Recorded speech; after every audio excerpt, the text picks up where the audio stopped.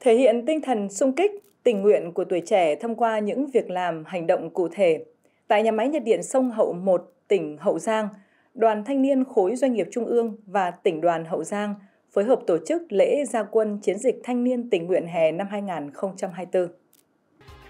Nhân dịp này, Tập đoàn Dầu khí Việt Nam trao tặng 10 ngôi nhà yêu thương cho người dân, đoàn viên, thanh niên có hoàn cảnh khó khăn với trị giá 500 triệu đồng, khởi công công trình thắp sáng đường quê, trao 100 suất học bổng và 20 xe đạp cho học sinh nghèo vượt khó, thăm hỏi và trao tặng 40 phần quà cho gia đình chính sách, thanh niên, công nhân có hoàn cảnh khó khăn.